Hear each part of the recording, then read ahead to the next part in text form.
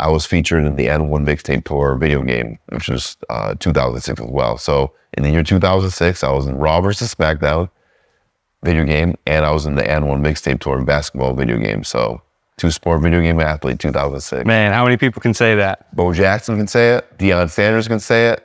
Uh, Brian Jordan can say it. Brock Lesnar can say it. And Mark Jindrak. There we go, dude. That's exclusive right there.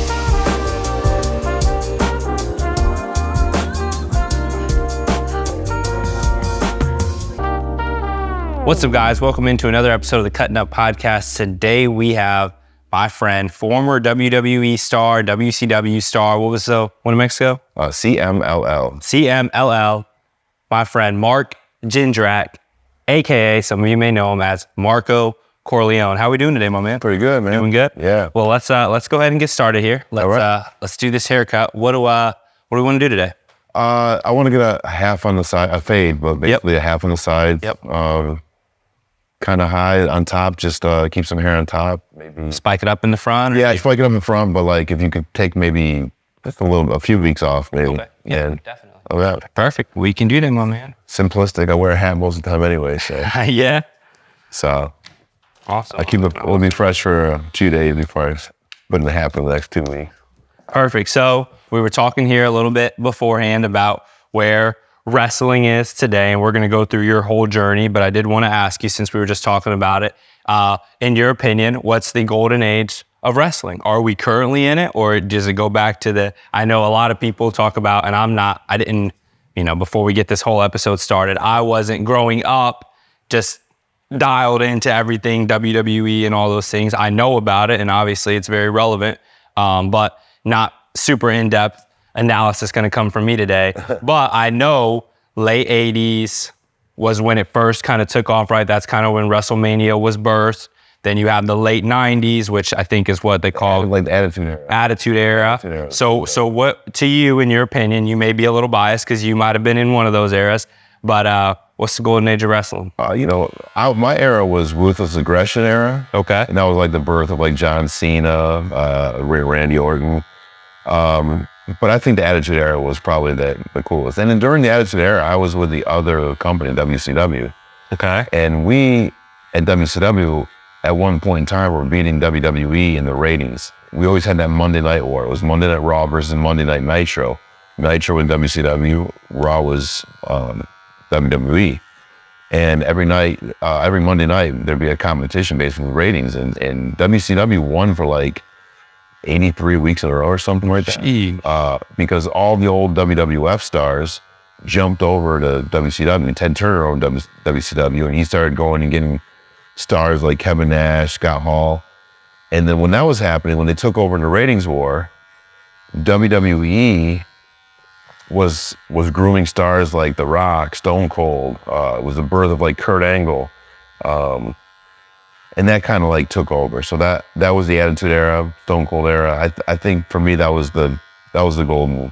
I mean, I, I don't get me wrong. The you know the traditionalists the traditionalists will say, uh, you know Hulk Hogan and one of the you know first WrestleManias. But uh, for me, it's the Attitude Era with that. The Rock, the birth of The Rock, birth of Stone Cold. So Attitude Era. That's my final answer. There we go. So, so what happened to the WCW? Did it fall apart while you were in there, or yeah, exactly when it fell apart. Um, and that was kind of like the reason um, we got thrown on TV fairly quickly in WCW. I, I trained at a place called the Power Plant, and that was in Atlanta, Georgia. And basically, that groomed you to get on TV.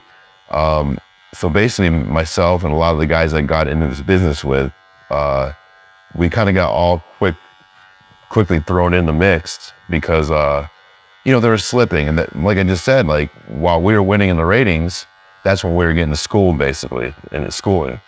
So when WWE came back with a vengeance and kind of like took over again with the, all those young guys like the Hardy Boys and The Rock and the Stone Cold era, they had to try, WCW had to try and answer. And, and that's basically why all those young guys got a chance early on. So, so basically when WCW shut down and um, WWE bought us, um, I was like one of the first 10 people to get signed over with WWE. So, so the TV time we got in WCW was just enough to get noticed in WWE, basically. Wow. So let's talk about your journey and how you got into all of this. Growing up, were you a big fan I was of, of wrestling? Who, who did you? uh, the Hulkster, man. Who who was your favorite? The? Hulkster, Hulk Hogan, man. Okay. Yep. uh the the, the monument like during that time there was monumental like uh characters. It was all character based. It was larger than life like like hillbilly jim and hulk hogan and big john Studd, andre the giant uh Brutus the barber beefcake jake the snake you know so all these characters were like larger than life characters. And that's when i was kind of growing up into it during the mid 80s say. So with the mid 80s it was man if you if you were into wrestling you pretty much into hulk hogan you know and yeah. uh, his nemesis actually died just recently, a few days ago, uh, the Iron Sheik. So, um, I poured a little liquor for Iron Sheik later. but uh, yeah, it was just the 80s, mid 80s. I, you know, watched it. And like a lot of things, when I turned it, you know, teenage years, I kind of put down the collecting baseball cards and watching wrestling. When girls came around, yeah, you know, in, hit puberty, we put the wrestling and baseball cards down. Uh, um, but uh, you know, the wrestling, it, it's just for me, it was like pop culture in America. You know, uh, it, arguably in the late '80s, probably one of the most recognizable people in the United States was Hulk Hogan. Yeah. So, so it's, it's pretty unique. I never thought, I never dreamed I'd be a wrestler. I always dreamed I'd be a another type of athlete, like a baseball or basketball player or something. And end up being man wrestling. So You got the size for it. Now you played. I believe we talked about it. You played college basketball. I played, yeah, but I played, uh, I played high school. I was a, a pretty good high school player. Um, but I went to a Division three uh, college. So Oh. for for you guys at home that don't really know, like there's Division one, like the Duke of North Carolina. There's Division two that's just level a step below, and then I was Division three. It's very competitive and still a lot of get a lot of great players. There's been two or three or four players in the history of like Division three that went to the NBA, so it's not impossible. But uh, you know, I, that's what I did. I, pl- I played college basketball, so that's that's kind of like the reason why I got into wrestling. You know, I was a very athletic kid. Um, I'm six foot six. You know, so I, I just had to do something athletic. You know, and I may I may have fell a little short. Uh, no pun intended. You know, I wish I was six foot ten or six foot eleven to play basketball. But um, You had a vertical that was insane. I I, did. know, and and kind of looking into a little bit more of your backstory that you were famous for your drop kick and having what was your vertical back then? my vertical, uh, it's on record for like 42 inches. You know, so At six six, that's six, insane. six, 42 inches. I mean, like I, I you know, ru- rumor has it Jordan's vertical is 48 inches. So, uh, but the difference between, you know, Jordan was 210 pounds, uh, 205 pounds. Um, I, uh, I weighed like 255 when I was jumping. So, SEO. um, but you know, jumping was, a, is actually in my, I guess, genetics, I guess, because, uh, you know, my, not my dad, but my dad's dad, my grandfather, he was a, a great high jumper in his days, uh, like world class kind of. Well, not world class, but maybe scholastically good in America, you know? Yeah. So uh, he used to, that's when they didn't even have uh, mats. Yeah, they used to do like a scissor kick over the high jump bar and land in like a pit of like sawdust or whatever. So I guess he, he jumped pretty high without the, you know, the padding and stuff. So I guess that's where I get it from, jumping. But uh, yeah, like 40, 40 plus inch vertical. So how how did you actually get into wrestling? When did it change? You went to college for I basketball, and to college for basketball. graduate, and then was that just the next step, or did you do something in between? How did you get introduced to, Well- to actually becoming a wrestler? I, well, I told you this is a great story. I, I told you about how you know I watched it as a kid, and then I put it down for a Yeah. while, and then um, so fast forward, I played my freshman and sophomore year at at uh, my Division three school. It's called Keuka, Keuka, and uh, so I was about to enter my junior year, and some of the seniors that graduated, they were going to move down to Orlando to start their careers in food service. So they're like, "Hey, Mark, why don't you come down? We're, you know, we went to schools upstate New York. Uh, so why don't you come down to Orlando for the uh, summer? Just kind of hang out when, you know, when drive the U-Haul truck for us, do us a, a solid, and we'll drive our cars.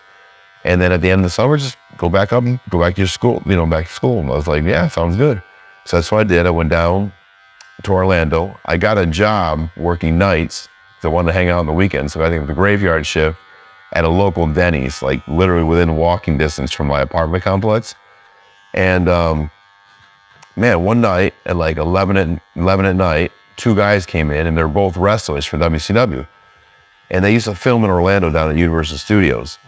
So I was cool with them. They're, I guess they had just got done uh, filming at Universal Studios. So they, uh, I was, I was talking with one and the other guy was just kind of into himself. Um, the guy asked me specifically, you know, do you, do you like wrestling? Would you ever get into wrestling? I was like, nah, I watched it when I was a kid, but you know, I'm a basketball player and blah, blah, blah. And so they left that night. And I remember later that night, it was like three in the morning. Uh, it's just me, the, the chef, and the dishwasher. And basically, uh, two kids come in. I don't say young young adults, I guess. And they said, "Do you have four quarters for a dollar?" Yeah, sure. So I opened the register. When I look up, a gun was pointed at my head, Oh, and another guy had a pipe. And uh, they're like, "Give me all the money." And so I gave them all the money and stuff, and uh, they left. And automatically, being young and stupid, I was like, "Man, that was pretty cool." I got held up. That's- Yeah, hell yeah. not scared at all. So basically, did the police report, um, and you know they let me go in the morning. Obviously, it was like probably five, five thirty in the morning. So instead of waking my my friend up to tell him about it, like, hey, I didn't get held up. Um, he, you know, he has twelve hour days work days, so I'm not gonna wake him up and be. A, I said, you know what? I'm just gonna go down to the little community pool in our apartment complex. We'll go hang out there for an hour, go in the jacuzzi or something, blow off some steam, and then when he wakes up, I'll have breakfast with him and tell him all about it. When I went down to the pool, one of the wrestlers that I met at the, the No Denny's was there. He was dating a girl in my complex, and he, No way. And now he's in the pool. It's like 5:30 in the morning. He's in the pool with her, getting all rowdy, and they've had some drinks. And uh, man, I I told him about what just happened. You know, I got held up and stuff, and he's like, man, it's, and now I have my shirt off. You know, so now you can see that I have a little more like Six six, two six, fifty, six. no shirt. And you found me before, you know, when I got my Denny's uniform on, he's like, "You're a pretty big guy, you know. Are you are you athletic?" And I was like, "Yeah, I'm athletic, you know." But a lot of people say they're athletic and they're not athletic. I was I was really athletic, and um, you know, now he sees my shirt off. He's like, "You got a pretty good build." Like, man, you know, dealing with what happened tonight, you have to see that sometimes nothing's guaranteed in life. And he's like, "You sure you don't want to try out and be a wrestler?" And he goes, "I'll tell you what. If you try out in Atlanta, I'll pay for it." It was a three hundred dollar tryout. And uh, man, just in, I, w- I actually went and tried out, and and lo and behold, actually the next day he was like, "Hey, what are you doing tomorrow?" Uh, actually today or next later in the day, and I was like, I just gotta wake up and do this uh, little composite drawing with the police detective. But after that, nothing. He's like, "Come down with me to Universal Studios. I'll sh- I'll introduce you to some of the guys, and I'll introduce you to the trainer who's gonna be at that training school in Atlanta that'll give you the tryout." I said, "Yeah, man, cool." So I went down to Universal Studios, and like I just told you earlier, Ted Turner was buying all these stars up from WC from WWE, and that's what I watched as a kid. So when I went backstage that day at WCW, I met Hogan, I met Kevin Nash, I met Scott Hall, I met like Virgil, Million Dollar Man, Rick Rude, Mr. Mr. Perfect, Curt Hennig. And these are all those classic names in the 80s. Now they're all signed with WCW and Turner. And uh, it just blew my mind, man. It brought me back to when I was a kid. Now I'm, now I'm an adult, young adult, and I legitimately have a chance to try out and make it to be one of these guys, you know? Wow.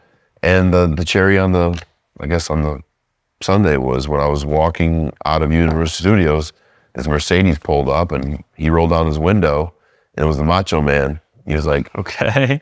he was like, man, I thought you were somebody else. Sorry. And that just, that was it, man. I went and tried out and uh, I made it. That's a whole different story, but that's how I got into wrestling.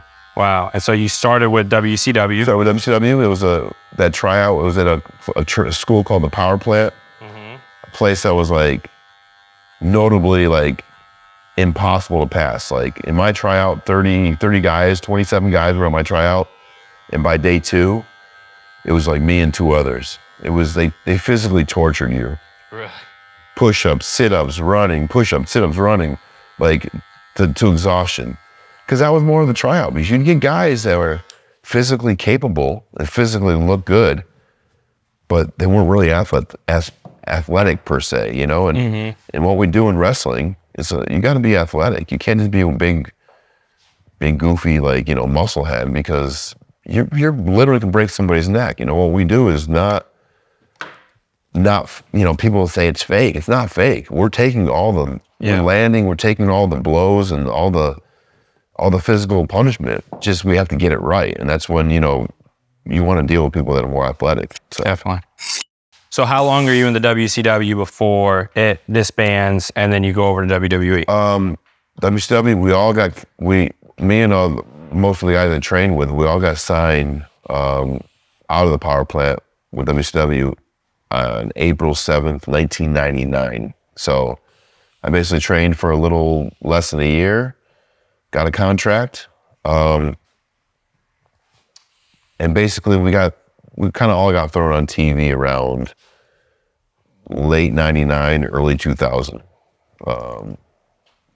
and basically in, uh, the company shut down in march of 2001 okay. so we basically got eight eight to nine months of television but what, it was good television because uh, you know my, my partner and i uh, myself and sean O'Haire we were we had a group called the natural born thrillers and we were actually tag team champions um, like in the year 2000 we were up for like rookies of the year we came in second place behind the hardy boys uh, you know so Yeah. so we had a lot of promise at a, an early age. You know, we just Yep. were really, really green because we kind of got thrown into the mix really quick. And in wrestling, like I said, it's it's it's a lot of theatrics. You got to be athletic and built and and be able to sustain punishment. But uh, you also need experience. You know, sometimes it's you know, like we're on TV, we're on camera right now. You know, when that red light comes on, sometimes it changes for people. It, it it's more nerve wracking. Uh, you know, like there's no mistakes, and like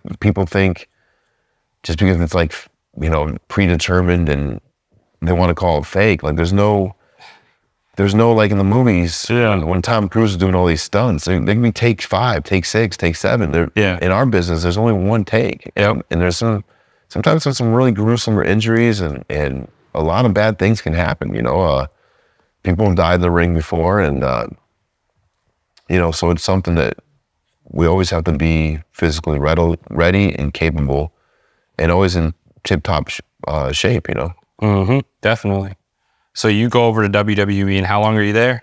I was there between 2001 and 2005, so about four years. Uh, in that four years, and I, I participated in a lot of um, pay per views, uh, Some big matchups, right? big matches. Uh, I saw Rey you you had one with Rey Mysterio. I came up short in that one, but that's one of my favorite matches. You know, That's fun. I watched a little bit of it. yeah, and you know, in, in wrestling, that's the great thing about wrestling because it's predetermined. Win or lose, you can you can shine either way. You know, Yeah. it's all about the match.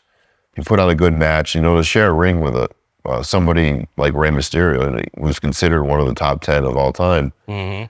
It, you know, it's a feather in my cap. It's something I can always cherish. Like you know, just the other day at work, I was showing my buddies, you know, at, at uh, that video, and it's just it's cool to look back. Uh, it feels like eons ago, but uh, you know, it's something I can I can go back and look at from time to time.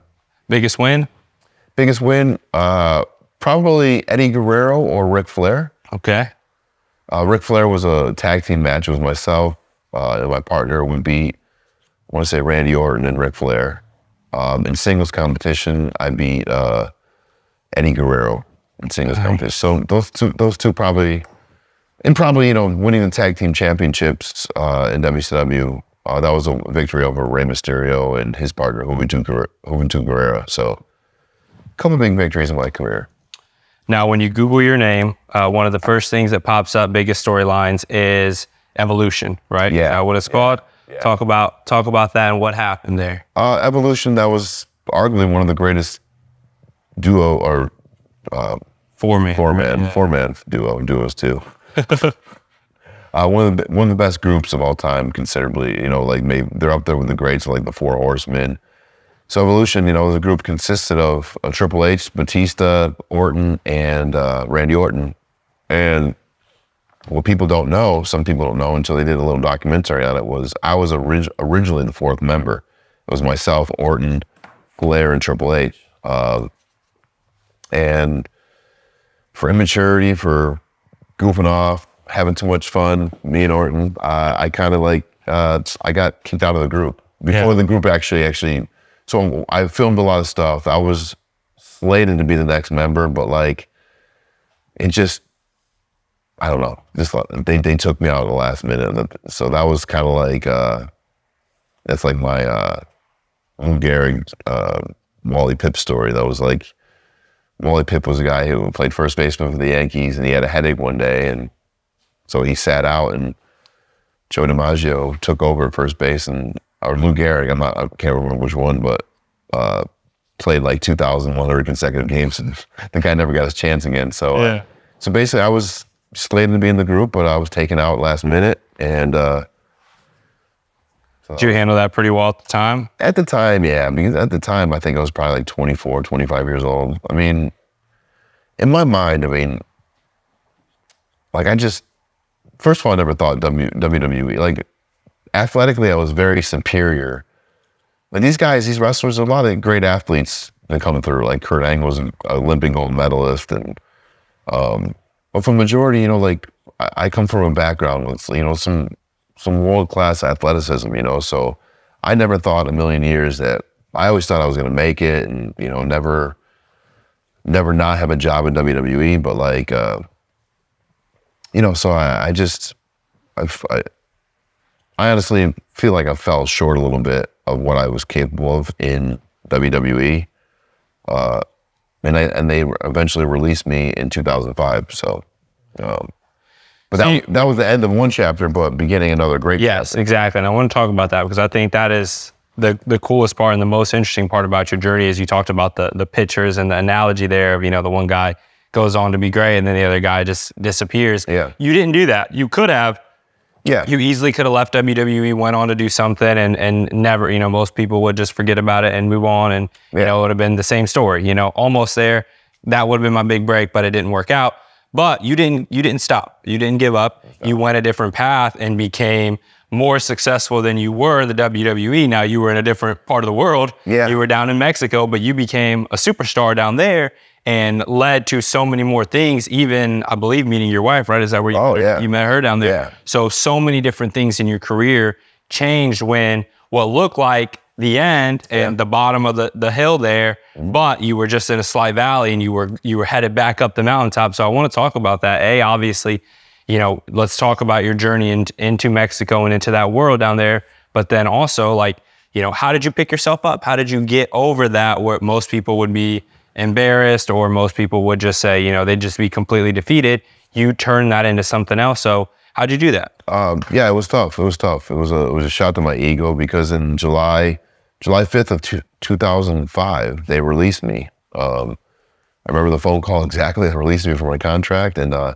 I got caught up in a release of like 27 people. So, you know, the, my career was wrestling, and now I'm, I'm in America making. I was making good money, and now I'm basically making nothing. You know, so as a wrestler, what do you do? You know, so I tried out Japan, I tried out Mexico, and Mexico was the obvious choice for for language, uh, distance. I just I felt a vibe there. You know, Mexico City was a, a great city, so I went there in 2006, and man, I can tell you, like, instantly I had success. You know, um, And this is the birth of Marco Corleone. Marco, right? Marco Corleone. Do you do that yourself? Or I don't know. They they They- they, they- brought me in as they they needed um, I'm basically a character. They wanted a character like an Italian type character. Okay. And Mark Jindrak is really not an Italian name, so so I, I you know and, and coming in like they just made they made that name up Marco Corleone. They, they had Mark and made Marco, and then they just thought of some. You know, I think Corleone, the you know the Godfather Corleone. So Yeah.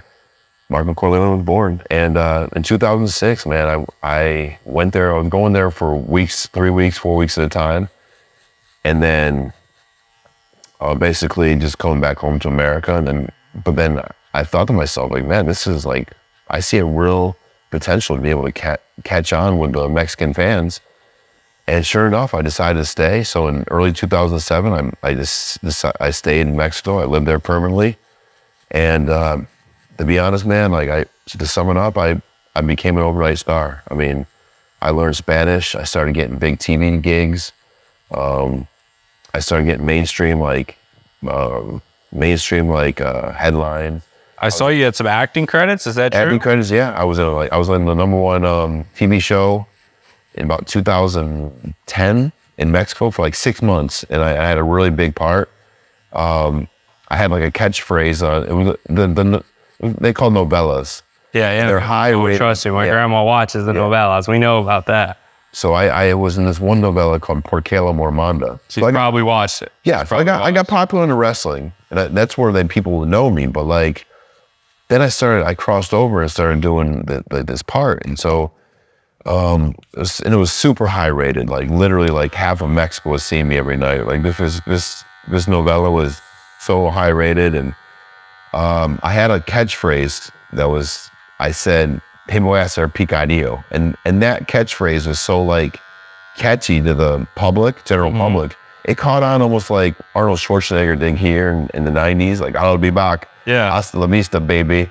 It- that peculiar accent translated for me in Spanish. It was a peculiar accent, and, and uh, but it caught on.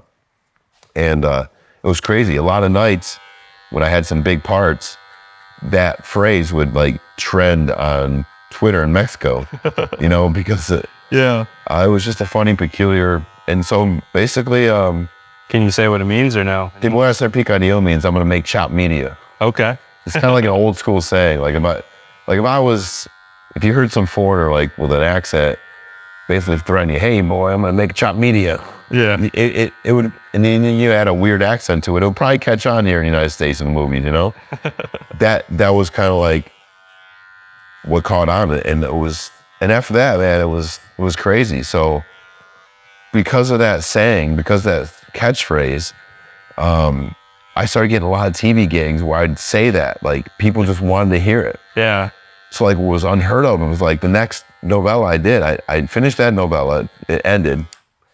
And then the next novella I did, I got brought back as a character, but as a but as a good guy now. So I was a bad guy in the first novella. And the next novella I was a good guy, and I still said the same thing, table after big video. So it'd be like if Arnold Schwarzenegger kept saying, I'll be back, and every single role. movie he did. Yeah. so that was basically me, and they, they just loved it. So Hilarious. they ain't broke, don't fix it. But uh, No yeah, kidding. I had um You didn't trademark it? no, it- I, I didn't. Um, but what's crazy is um after that it was just like the rest is history. Like I I I had my old cologne in Mexico for a while called Strong Mind. Uh, I wrote a children's book in Mexico Really? uh, called. Uh, it was a it was a group about it was a book about bullying basically. Uh huh. You know, bullying became a big topic in the. Um, basically, it was a big topic in in Mexico and all the world in the you know early 2000s and stuff. So I, I wrote a book about that. Uh, I uh, like I said, I did a lot of roles in novellas, uh, and then uh, we can't forget about the wrestling. You know, the wrestling I became trios champion in in my a company CMLL, and CMLL was like it's the oldest company in all of the world in wrestling. You know, so it was like 90 years old. Uh, you know, so I was a champion there. Uh, so basically, Mexico for me. I mean, even even this is a fun fact. In in Mexico, uh, I have a I met my wife and we had a child. He was born in Mexico, and the Nacho Libre, the guy that Jack Black portrayed in in that movie uh, Nacho Libre, Yeah. he baptized my son. Really? Not Jack Black, but the guy that Jack Black portrayed. I didn't even know that was based on a Yeah, true, true, story. story. Yeah. So there was a priest. There was a priest uh, called Fray Tormenta that by back in the day, by he he worked with the you know there was an orphanage at the church, and they didn't have a lot of money. So by day he would do his priestly duties uh, and run the orphanage, and by night he'd go and put a mask on and wrestle, That's crazy. make money to help the orphans. And he baptized your son. And you know, so after that movie Nacho Libre came out, this guy Frey, Fray Tormenta is his name. He became like a cult, cultural icon in Mexico. You know, Yeah. obviously because the movie came, was so popular. Yeah. And uh, he baptized my son uh, with his mask on. So in a church was over 500, 500 years old That is awesome. in Mexico. So That is awesome, dude. so you know, it was a wild ride, man. And and like you said, like you know, WWE obviously is the most famous company in the world in terms of wrestling. But uh, you know, like I learned that sometimes in, in life, it always doesn't have to be the easy five plus five and get the 10 in life and success. You know, it can be eight plus two, it can be seven plus three. It's good. And uh, that's what I kind of learned, you know, and, and apart from just making this leap into a, you know, another culture, another language, another, it, it you know, it, I think sometimes we as Americans, you know, like need to get out more and see the other parts of the world because it opened my mind to so many things. You know, like you know, I, if you watch some movies and stuff, or you, you think Mexico is just sometimes like just like uh, ghost town with like you know, like you watch it, and when people cross the border, it automatically becomes like you know, like desert. It's not like that. Like, Yeah, I, like desert and cartel, right? That's I, all. yeah, I wake up like in the morning and you know cross the street and there's a Starbucks there and there's, you know there's regular you know so like Yeah.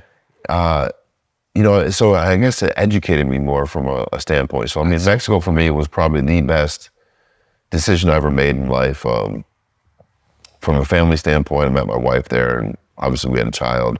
From a career standpoint, uh, like you said, I, I could have ended my WWE career on a down on a down Yeah. slope, you know, but you know, I, I did this whole lucha libre experience and created a whole new life for myself. Acted, wrote books, uh, you know, Yeah. My own cologne, like so, like those things, Cool, man. those things you can never, you know. I, I'm even in the mall. I was in, there's a pl- place called Plaza of the Stars in the in a mall in Mexico City, and I have my hands engraved in the floor. So Yeah.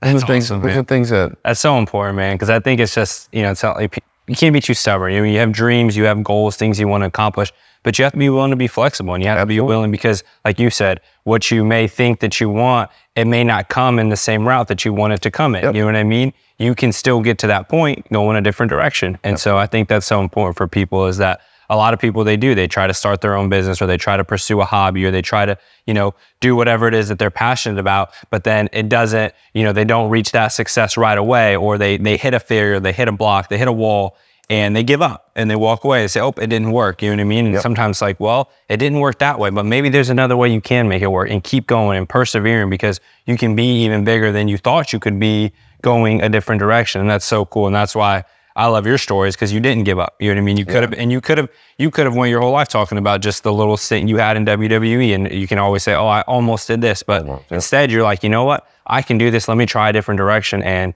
even more popular than you could have been here. You know what I'm saying? And so that's really cool. One of the things I think is probably the coolest thing about you, um, and you told me this, is that you were in two video games in the same exact year. Tell us about that.